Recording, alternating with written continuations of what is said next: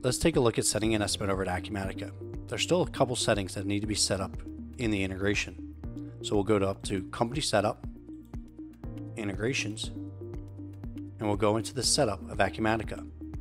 If you've not turned on Acumatica, please see the setup video for Acumatica.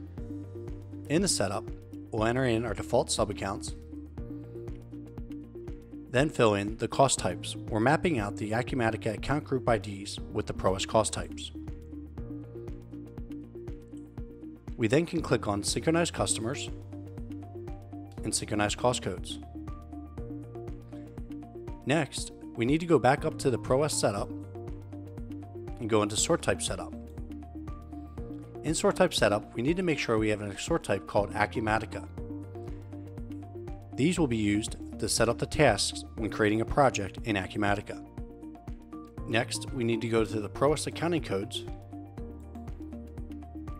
and here we'll map out the Acumatica cost codes to the ProEst divisions or subdivisions.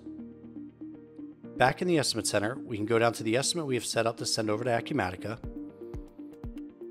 This estimate should already have the items set up with their cost codes and assigned to the Acumatica sort types.